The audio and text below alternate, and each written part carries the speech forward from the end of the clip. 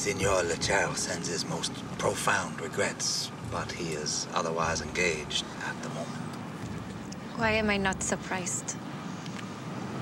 He wanted to relay a message that he is very much looking forward to seeing you soon. If I can come in and he won't come to visitation, how does he expect to see me? He wanted to assure you that he will see you very soon. And you just repeat his lies. Like the great god Hermes, I am but a messenger. A messenger this. I am through with him. Carmelita, I empathize with your frustrations. In the short while I've been in Lechero's employ, I have been kicked, I've been choked, I've, I've been punched, I've washed his feet, I've shaved his back, I've cut and recut mangles ten times just to get the slices thick enough. Then you can imagine what he has done to me. I, I don't want to. My point is this. I have seen what has happened to those who decide to leave Lechero's side. So I should stay? No one deserves to be treated like this. I know, I know, you're right, you're right. I, I'm just being selfish, but if you left, I'd never, I'd never be able to see your smile. Know you mine.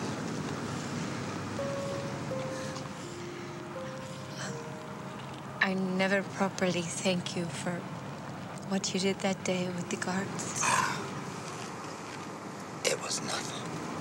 You know that's not true. You'd do the same for me, right? Save you from the guards. I'm just saying, you know, if I needed a place to hide. You're in Sona. Pretend I wasn't. Pretend I on the outside. And La uh, Policia were after me. I could count on you to hide me, right? You want me that bad?